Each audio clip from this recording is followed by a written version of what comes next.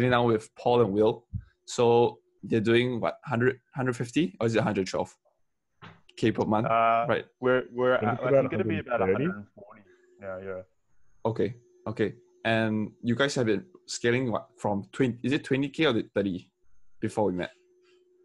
We I think our our best month before we met was probably 20, and then when we began the program, uh, we had uh, in August I think a 30k month, which was then our best. Um, another sort of 20 or 30k in September, and then yeah, we've we've sort of exploded in in October and had our yeah best month by a long way. Okay.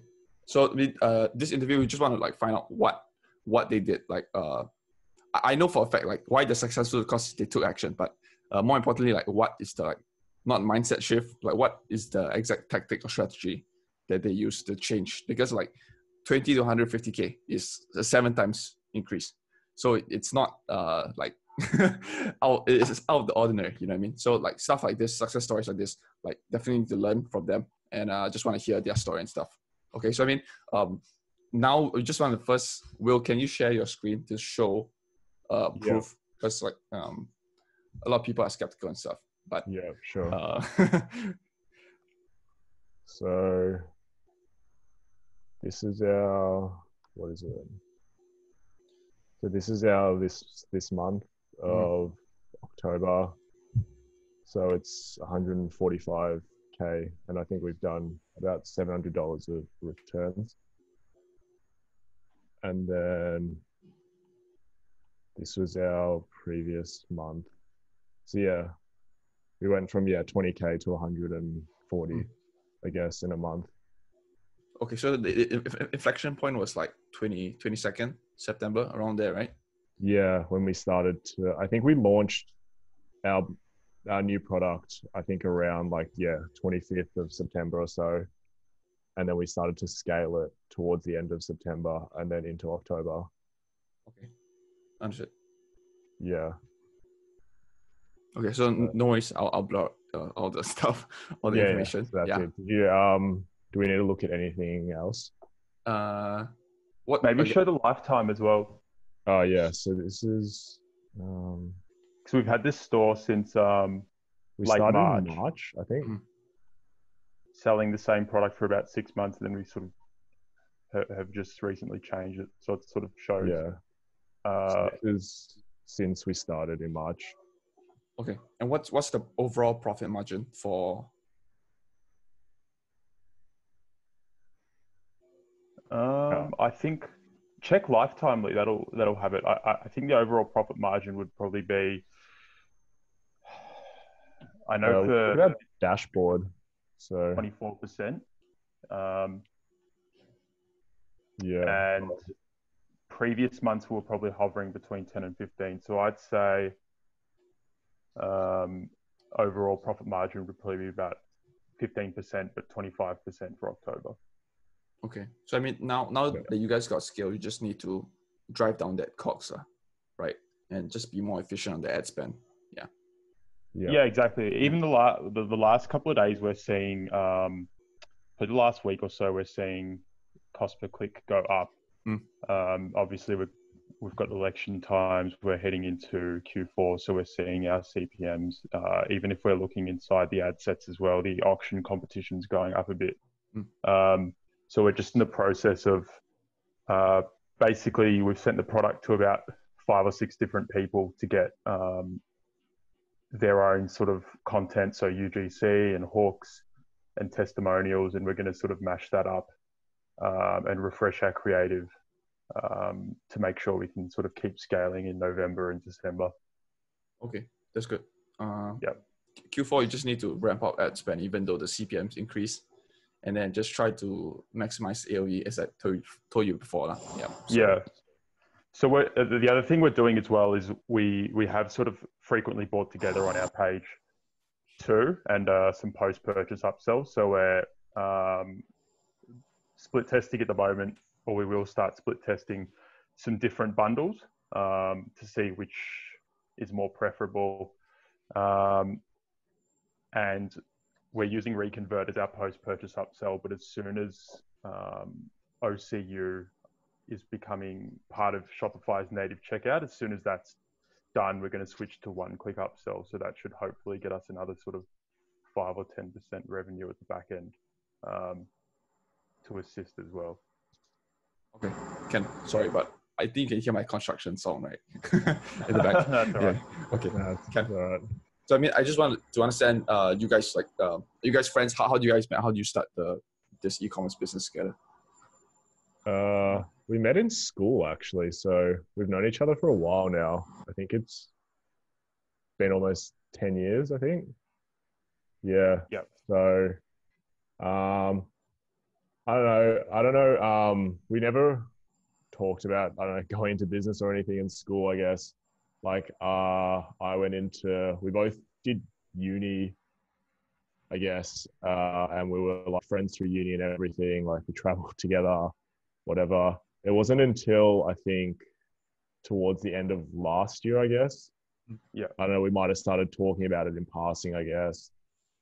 And then at the start of this year, I think we like sat down and said, yeah, we could definitely um, do something together. Because I was definitely interested in something like this, but I was like still learning, didn't really know where to start. I don't know about you, Paul. I think you were sort of in the same Yeah. boat, I guess. So we, I, I- I think with myself, I built a couple of stores uh, late last year in December. Um, not with not with Will, just on my own, and I was getting sort of a few sales here and there and a few profitable days, but I was still very much a beginner and didn't really know exactly what I was doing. Um, and then what ended up happening was I had a really busy period with my full time job um, in January, and then I found out Will was actually trying to do a coffee e-commerce business um, as well. Yeah. And I sort of said to him, "Oh, look, you know, co- I'm I'm sort of still a beginner in this, but I'm quite sure with coffee, like it's going to be quite difficult as a beginner to get that up and running. Mhm. Uh, I'm sort of doing drop shipping at the moment. We should sort of team up um, and work together.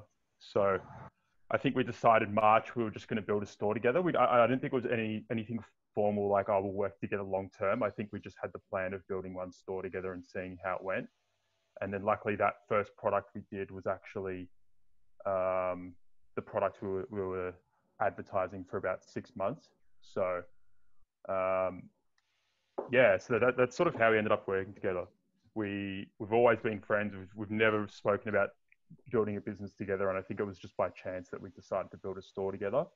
But now we're starting to segment a little bit of what we um, are both focusing on, and I think it'll be a, a much more long-term endeavor now that we're going to take it a lot more seriously and, and work together long term. Because you guys are still working full time, right? Both of you. Yeah. Yeah. So Um, but it what- works yeah. really well because Will works in hospitality, so Hmm. he's um, his family owns a restaurant, so he works in, in a restaurant, um, and that make, that means his hours are quite like scattered across the weekend and weeknights. But he's got most of the day free, whereas I work just a, a normal sort of nine to five job. Um, so I usually work on the business before and after work, whereas Will works on it while I'm working and then we get most of the weekends as well. So it actually works out in terms of like a momentum thing. It works really well. So sort of really good to shut the laptop after work, and then you've had all this work done as well because Will's been working on it during the day. If there's like supplier or customer service issues, Will's straight on it because he can work with the supplier during the day while I'm working, and then vice versa when he's working. So it actually works out uh, really well for us. Okay. What what is the because when I, I know for a fact it's like when you work nine to five, it's like you are fixed your fixed income, right? It's very secure. You, you don't feel uh, pressure. Like why Yeah. why even start a business? Um, I don't know.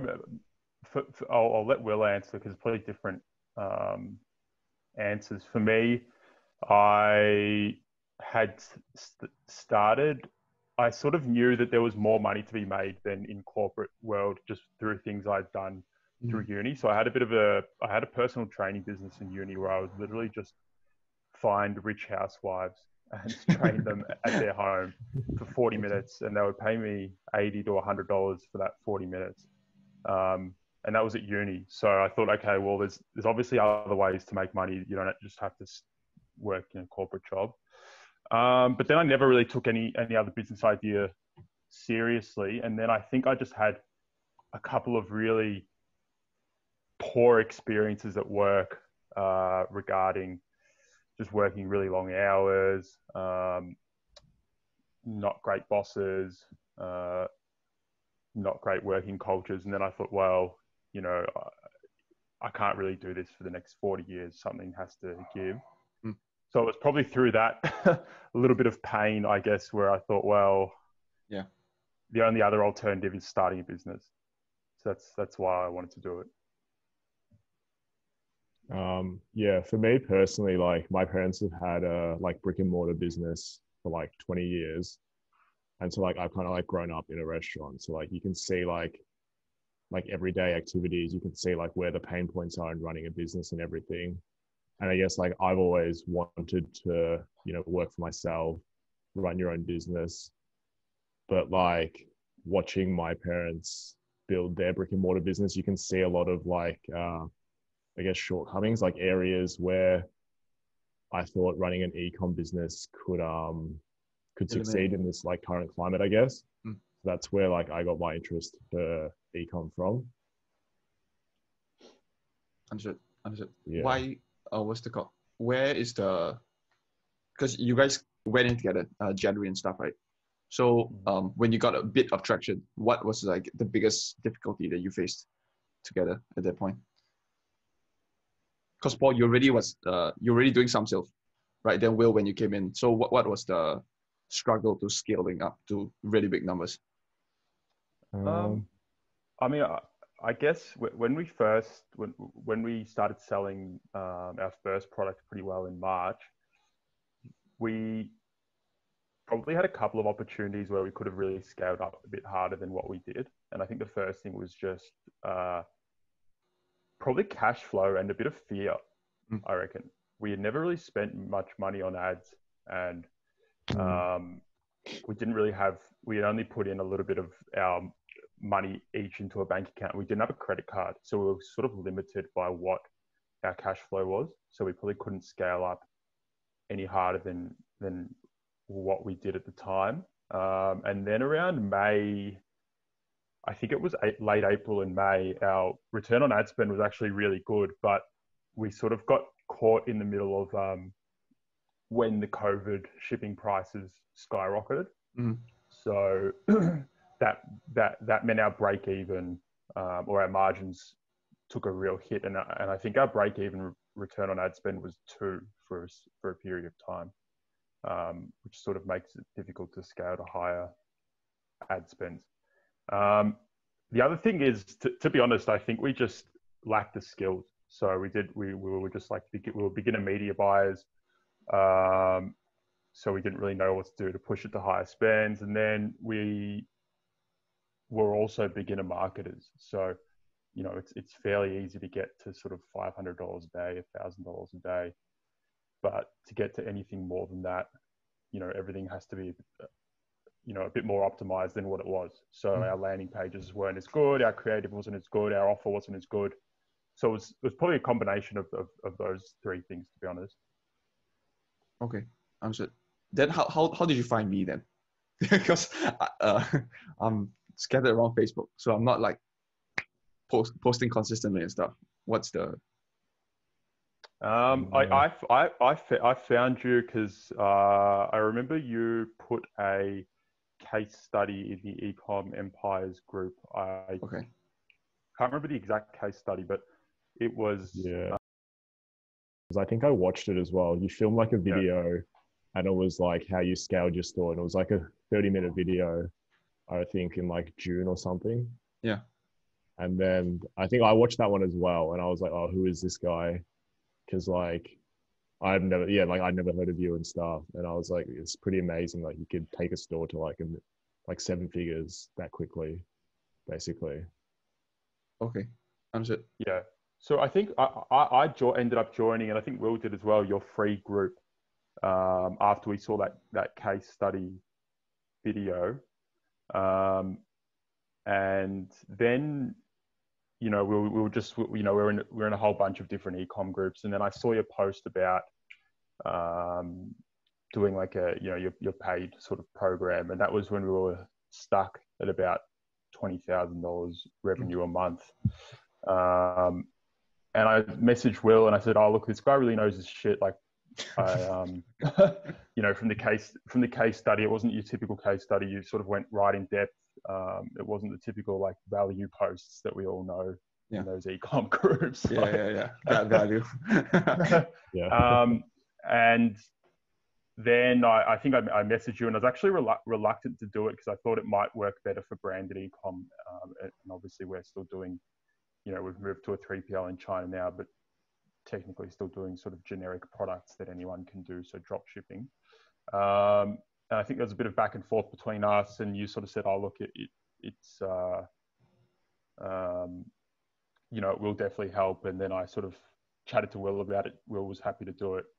Um, and then we got in involved that way. But yeah, it all started really from that case study, I think, in the Ecom Empires group. And then we, we joined your free group and, and um, all your sort of posts and knowledge uh, meant that we were trustworthy of, of your knowledge. Um, and therefore we were happy to go Hmm. and, and be mentored by you. And then, I, and- to be honest, I, I'm, I, I've sort of seen other people who have had success quickly, and a lot of them have said like, "Oh, the quickest way to success is just paying someone who knows a lot more than you do, so you can basically absorb it quicker." Yeah. Rather than just trial and error, which was what we were doing to begin with, a lot Yep, of trial and error and figuring it out on our own. So I mean, like, um, first like first time I hit like hundred k a month, right? Then I'm like, holy shit as well. Then like once you got to another level, getting from hundred to three hundred k a month is harder, harder than going from zero to hundred. So um, when you scale, when you go to the next level as well, it's it gets harder and harder. So Mhm. I guess what is your when you were going from twenty to to the first hundred, right? What is the tactic or what's the strategy? Do you think that really shifted the or is it something that I really taught you that hey, this is the strategy that actually works? We have one landing page, one offer, then we just run smash traffic. Like, what what changed between when you guys were doing it yourself when uh, versus you know after the the program?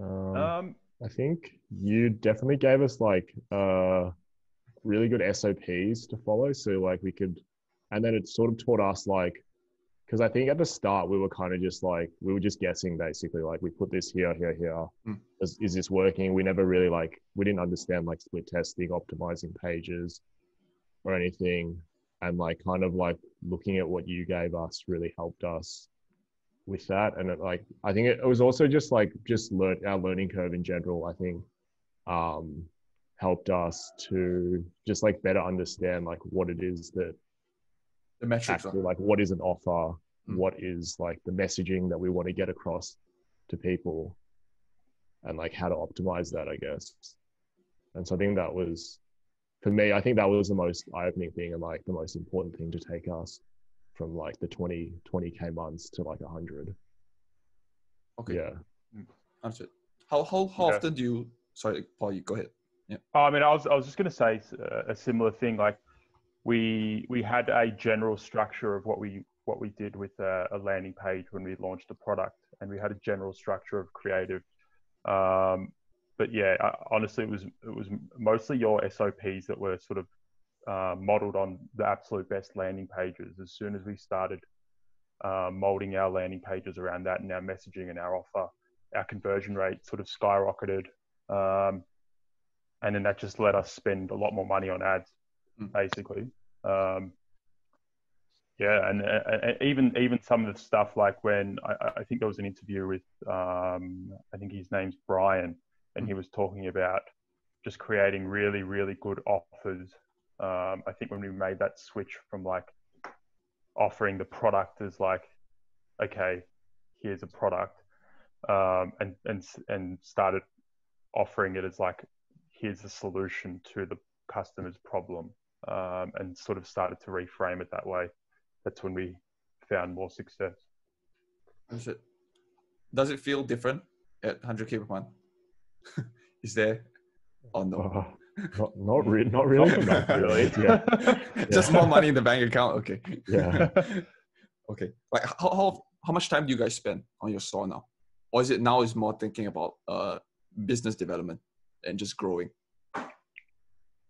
Um, we we I mean the other thing that you helped helped us with is is we we were we hired a VA straight away Mm. as soon as you know even when we probably weren't uh, when you were looking at our numbers and like what we were doing we probably shouldn't have been hiring a VA but I think that was a big change as well because as soon as a lot of those customer service tickets are taken care of it gives you more thinking time Mm. for the business and it's um, yeah, so that, that, that, that was another thing um, as well.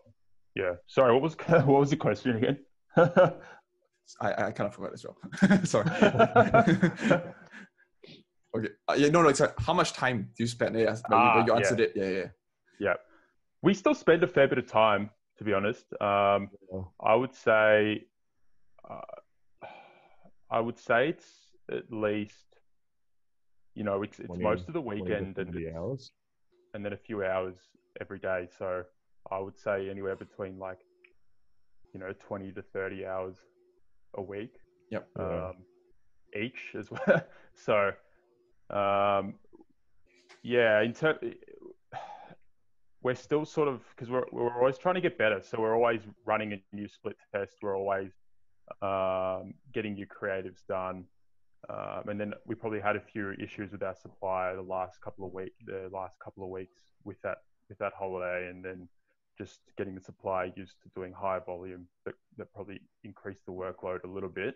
Yeah. Um, our plan really, like our, our plan is we know it's going to be hard work for the next few months um, until the new year, but our, our plan that we've sort of decided to make is just um, try and make as much money as we can over the next three months and then probably spend January of next year basically getting down all our processes in the business and Mm. trying to hire as much as possible to cover for that so that Will and I are basically just either managing VAs um, or finding um, new products or, or, or running split tests um, and, and sort of focusing on higher level stuff.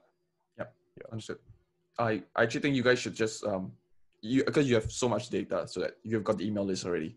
So you can just diversify into other traffic source plus products as well. And then if you want to Yeah. run Google ads, then make it stable, you know what I mean? Yeah. So yeah. Yeah, that's that's the thing. So I've, I've Oh, you got go. that. I was just going to say I've um I've got on the to do list today to set up all the the Google Shopping for um all our different products as well. So just in case, yeah, Facebook starts to take a hit, or our uh, you know a lot of ad accounts have been getting banned for no reason because of election time. So I'm sort of just waiting for the day where we wake up in the morning and our account's been banned, and so we're set, yeah, I'm, I'm setting up all the Google Shopping stuff today. Okay. Yeah. For, for me, I, I don't know about you, but like I feel skill set because like to be able to do numbers, you need skill. It's not luck. It's not just winning product. So I think for me, it's copywriting. But what what do you guys think for your side? Uh, Uh, you go yeah, I think Will. it's yeah, definitely mainly copywriting and how you can get your message across to the customers so they'll actually like listen to you. Like why make them like why should they care about what you're offering them? Because like everyone's selling products, but it's like why why should I like give my money to you? I guess. I think that is like really important. Yeah. And then the probably Yeah. the other thing I think for me was just like just setting up systems that other people can follow so you can automate like as much as possible. I think those were basically the two things that I learned. Sorry, Paul, you're gonna say something? Yeah, I mean, I, I I was going to say something similar. I think we've both started reading um, a lot of books on consumer psychology and like, you know, all those sa- old sales letter and advertising books. Because I think when we when we both started in March, we kind of had the impression like we we we knew we were never rubbish dropshippers like you know terrible product pages or anything like that. We were all because you know we, we were always making sales and and stuff like that. We never we, it wasn't as if we were starting from bottom of the barrel. Like we had that basic understanding because we had both done other stuff before. Um, but I think we we still didn't really understand why people purchased something and what would make them purchase. So yeah, I, I definitely think our our skill set has has deepened, but by the same token, I feel like I don't know if you feel the same, Will, but like the more you do, um, and I guess the high the higher level you get, you then get exposed to people doing even bigger things, and then you start to realize how little you know. Yeah, Um, definitely. Yeah. so I feel like we've out there grown our skill set. Yeah. We've yeah, I feel like we've grown our skill set and we, we sort of understand why people purchase and, and we're you know getting better as business owners. But then yeah, the more podcasts we listen to or the more people are exposed to doing bigger numbers, we're we sort of understanding or realizing that um, we've still got a long way to go. Yeah. Yeah, I mean, the, the, the people doing three, four hundred k per day, and then they just don't they don't say anything. Yeah. So yeah, yeah, yeah. And and Yeah, I, it's exactly. it's not uh, what's called the, these people like uh, the higher you get, the less well known you want to be. That's that's what I learned as well. Yeah. Yeah. Yeah, definitely. Um, I think the th- the thing now is I'm starting to realize that it's it's really to do it consistently. It's just about cr- creating repeatable processes, um, and so you can just do it over and over again. So I suppose that'll be the next challenge for us. Is we've had one good month now, Mm. but you know both of us want to do this full time. So the challenge for us is to back it up with another month and then another month Yep. and do it over and over again, like like clockwork, rather than just one one Yeah. month and then never be seen again. Yeah. I, I remember one, one of the calls, right? Uh, I think Paul, you mentioned this is like you feel like you can do anything, and then I, I know that feeling as well because it's like very liberating when you know how to run traffic and then you can just make money in any environment, right? Yeah. So I mean, I, I think you feel the same way. Like how, what's your what's the next step for you? Because now now that you have skill acquisition, right? Then now it's what's the next step for you guys? I mean, uh, in my mind, our, the the next step is is is basically getting our skill and knowledge into re- repeatable processes, and then just all the bottom of the barrel task, not bottom of the barrel, but all, all, all the tasks that we sort of spend a lot of time doing now, we just sort of take take away from ourselves. Um, and to be honest, another thing that we haven't really been doing consistently is is testing new products, testing um, new creatives. It's only been sort of the last month that we've really picked that up. So I think to yeah to increase consistency, it's about um, just getting just getting quicker with things, um, and and that, that that comes from hiring to replace ourselves so that we're working on high leverage tasks, but then so we're basically systemizing everything like clockwork. So if we want to go down like the, you know, make as much money as possible dropshipping route, then we're testing a certain number of products every single week. Yes. Um, or if we want to go down like the branded e-commerce route, then we're testing like a certain number of creators each week for a product or, you know, however, however we really want to take it, whatever what, what whatever is the next step, which we sort of have to both think about whether we want to do sort of more branded e-commerce or try and keep doing drop shipping. Um, I think it's just about making sure that we can um, do the higher leverage tasks over and over again, and that, that only comes from hiring other people to do the to do the, the lower level stuff and managing them properly. Um, yeah, we haven't taken any money out of the business yet. Like we, we don't really need to, which is good because we're both still working, which has been a, a luxury. And we both, you know, Mm, maybe if we we're yeah, 20 or definitely. 21, we might want things like gold chains or cards like the Insta, Insta ecom gurus do, but Okay. we don't really care about that stuff. So um, we can, yeah, we have the luxury. We can use that money to hire people and then just keep growing the business. And what's your inclination so far? Is it more okay? I, I go branded all the way, or do I still dropship and yeah?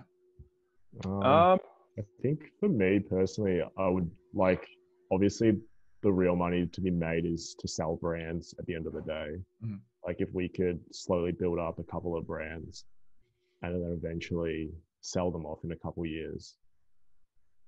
So I don't know, for me personally, like it's good to drop ship, but also like to build a couple brands along the way and Mhm. still like then just automate as much of these tasks as we possibly could.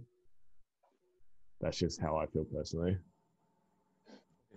Yeah. And yeah, go ahead. Sorry, sorry. I mean, my, my, I guess my thinking is w- e- either way, either way we go, whether we um, go the drop shipping route or the, the branded route, I think either way we just have to go all in on either one because they're both they're still slight they're they're slightly different um, things. I guess like drop shipping, it's all about testing products, being quick, scaling hard, scaling fast, whereas the branded e-com route is, is more like, you know, a real focus on customer experience. It's um, testing lots of different creatives. It's really optimizing the whole process, and it's a slower um, process that I guess is more rewarding at the end when you you might sell it compared to drop drop shipping. You're not really selling anything. You're just trying to make as much money as possible Yeah.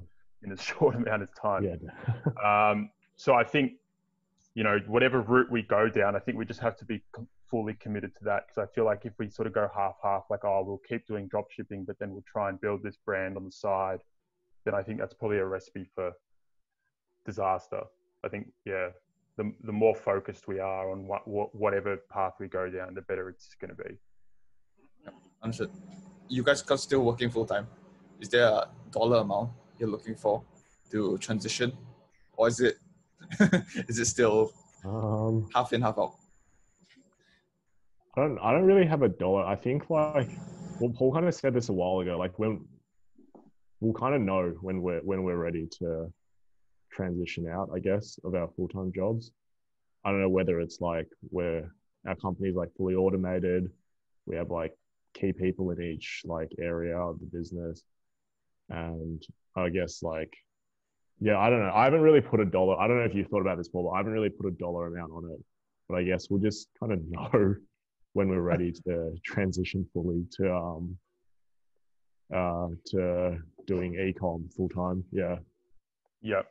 Um, yeah, I mean, the, I guess the way I I haven't put a dollar amount on it yet, but I feel like we probably both need to sit down and do it Yeah. at, at one stage, just because uh, I, I sort of know with this this thing, and I've um, heard other people talk about it as well, where they sort of they they'll always move the goalpost, you know, further and further away. So it'll be like, all right, well, we'll need to replace our income. Okay, now it's we need to thr be three times our income. Oh, now it needs to be five. like yeah. just sort of keep moving the goalpost further and further until you're kind of running away from the the painful choice, which is well, as soon as you take away that stable income, it's like it's kind of yeah, you've got to make it work, in, or yeah. yeah. Or you- on the line. yeah. So I think we both need to figure out a dollar amount. But um, to be honest, I've sort of had in my in my head that if we can continue at this rate for the next couple of months, then we would have enough cash in the bank um, to do it to do it full time for to basically give us a runway of at least like six or twelve months.